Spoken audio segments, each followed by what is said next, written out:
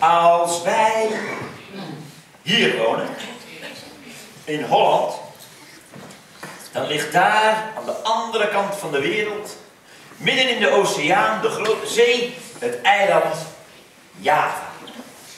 En over zo'n reis, 400 jaar geleden, per schip, gaat dit verhaal. Want Bontekoe die woont in Hoorn, net als hij.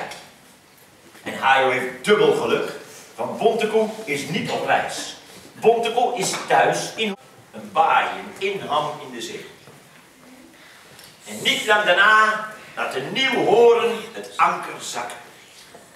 En voor het eerst van zijn leven zet Peter Hajo, die nog nooit ergens anders is geweest dan in de straten van Horen, voor het eerst van zijn leven zet hij zijn poten in het zand van een ver vreemd land. Afrika.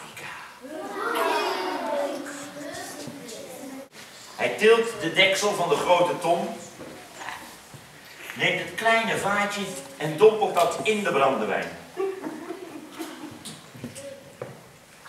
Hij haalt het vaatje omhoog.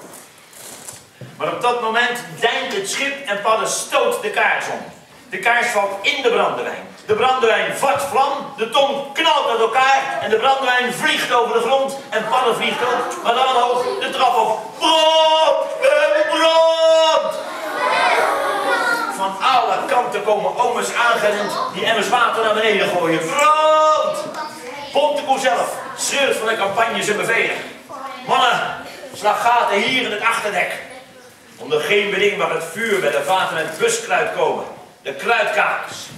En met beide slaan ze gaten in het achterdek, maar het is te laat. Beneden ontploft de ene naar de andere ton met brandewijn. Een steekvlam schiet omhoog langs de mast.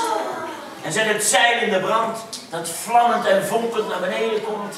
En bovenop Omes valt, die gillend van de pijn overboord springt. Iedereen, volhouden.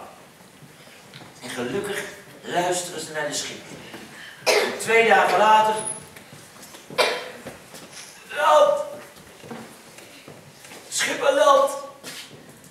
Land de zee! En niet lang daarna glijdt de jol in het zand van Sumatra. Paul maakt een koprol van blijdschap. En dat is een hele kunst voor Paul, een koprol. Ze en dan zien ze het op zee, in het maanlicht. Pontekoe en anderen zijn weggevaren. Oh, stel ik de lapzakken. Ik haat de zeelui. Bij je achterlaten met die bedzeters. Ik haat ze. Die jongens in rokjes. In rokjes van gevlochten gras.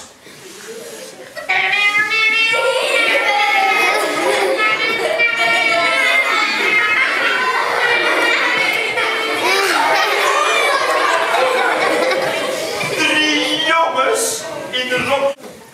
En als ze met z'n tweeën zo door de straten van Horen lopen, dan wijzen de mensen ze na en ze zeggen: Hé, kijk, zie je die jongens daar?